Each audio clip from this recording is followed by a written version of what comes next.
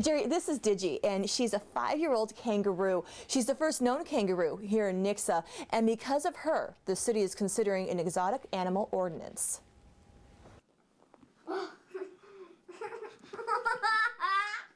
Yes, she came from petting zoo. We're not sure exactly where, but it was somewhere up north. We're thinking Minnesota, Montana, somewhere in that area, because she came with a very thick coat already, so she'd come from a colder climate. A lot of Cheerios, some bread, and bananas. Let's go after that peel. Those are some of Digi's favorite things. She's very calm. You know, we've had a lot of animals through the years. I grew up with Great Danes. I'm used to big animals that are crazy. And she just kind of hops around and is nice and calm and peaceful. She became a part of this family a few months ago. Um, it's an animal my wife's wanted for years and years and years. And uh, I told her, you know, research it, find out what we need to do.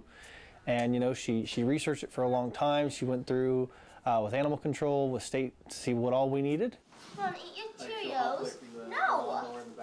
It is perfectly legal for them to possess it. And, uh, you know, the kangaroo, I, I did go meet it, and, you know, they, they have a, a facility that's adequate uh, to house the animal. Um, they have, you know, the fencing around their, their yard and everything. Um, so they, they've met all requirements.